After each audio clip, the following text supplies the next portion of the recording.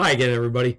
Um, today's lesson is one that would be a lot different if we were in person. So I'm going to explain to you the parts that we would have done in person and then kind of go into you, uh, what I go into what I want done with this by you over the next couple days. So, um, this little plan is called Snapshot Autobiography. And the thing that's on your screen right now is something that I have also shared with you as a PDF on Classroom it's a great little thing because it gets us thinking like historians.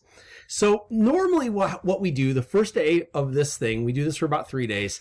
Um, the first day I have you guys do a quick free write and I ask you to tell me the story of your birth. So if you think to what your family has told you about the day you were born, it's, it's just write down the story that you've heard.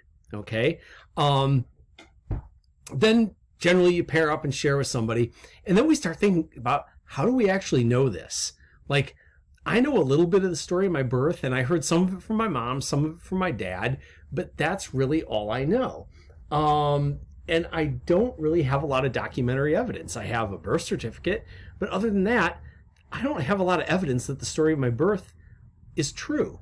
And it's worth wondering would other people who were in the room, doctors, nurses, would they remember the story of my birth differently? So, we start thinking about this very simple thing, our own origin story, and about how it may or may not be accurate. Um, so what we do is pass out these directions then. And this is what you do uh, before the second day of the of the class. Um, and I'm giving you guys a day to work on it yourselves. Um, this is a snapshot autobiography. So what you're going to do is kind of like do an autobiography of, of your life, which obviously is an autobiography. Um, and you're going to do it by taking a regular sheet of paper. Let me see if I can show this correctly. So take a regular sheet of paper, fold, fold. That's a trifold, okay? On the front cover, you put your title and stuff. Now, if I were gifted at art, this would be a lot cooler, but I just kind of hashed it out. I am going to do one of these with you guys for real, but this is just to show you what it's like. So it's Boyle, My Life at Middle Age, because I am a middle-aged dude. Back cover is about the author. So it's that author picture of you, right? You ever notice how like every author on their book, their picture is? Or yeah, Okay. So it's your about the author thing. You write, you know, Joe Joe Boyle is a 45 year old history teacher living in northwestern Ohio. He teaches in Toledo and enjoys lots of weird historical things. Okay, you're a little about the author thing. Now that leaves you with four frames, right? One, two, three, four. So pick the first one is going to be your birth story, the actual birth story, and you need to interview somebody. And uh, not necessarily for the birth story, but you do need to interview at least one person about this. And let me go back to the directions real quickly. Okay. Um, so here is exactly what I told you. Um, your autobiography has a title on your cover. Back panel has your about the author section. Then in the first of those, you're writing about your birth.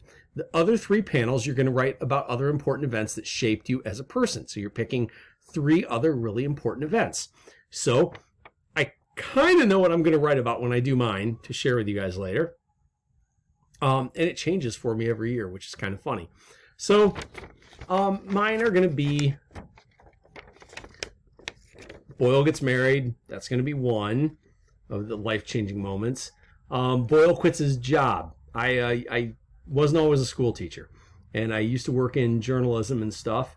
And uh, then I was in New York a week after 9/11, and everything changed for me. Um, and then Boyle goes to France. Uh, I went to France in 2012, and it was kind of a life-changing experience and career-altering experience for me. Um, and at, at age 45, I've certainly got a lot of turning points in life to choose from.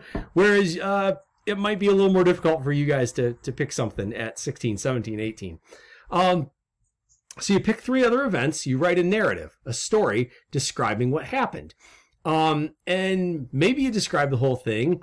Um, include enough details to, to kind of sell the story and illustrate each illustrate each event with a small hand-drawn picture. Now, for one of the events that you wrote about, you're going to find somebody else who remembers it. So maybe one of your events is like something that you did in sports, some kind of athletic event that you were part of. And um, you want to talk about the, the time that, you know, uh, Rogers beat Springfield or something in, in volleyball, and you want to write that story. Find a teammate, find a coach that you can social distance with or interview over email or over uh, Zoom or Skype or something or FaceTime um, and get their version of the story. So when you do this, you want to make sure you're getting their version.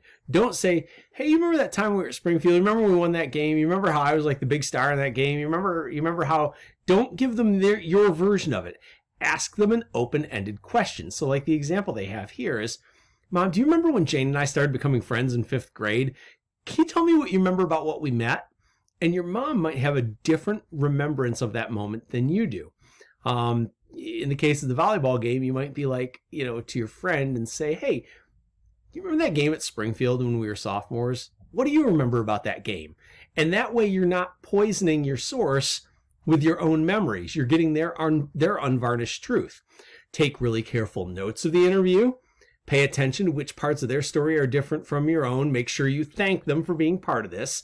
And then fill in a form like this that I will put online for you so you can fill it in digitally. Or if you want to do it on paper and take a picture and send it to me, that's okay too. So that's the assignment. I hope this makes sense to you guys. I hope it sounds at least marginally like fun to you. And I'm really looking forward to seeing these with you guys. Take care. Bye.